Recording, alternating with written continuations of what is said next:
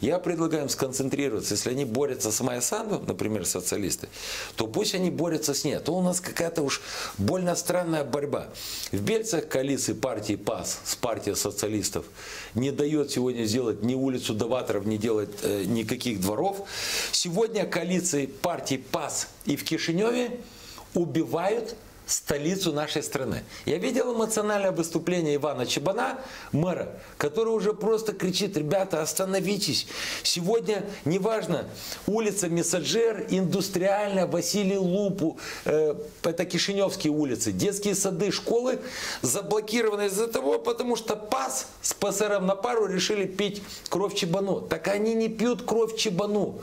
Да, политически они пьют ему кровь, но они сегодня просто блокируют сегодня развитие города.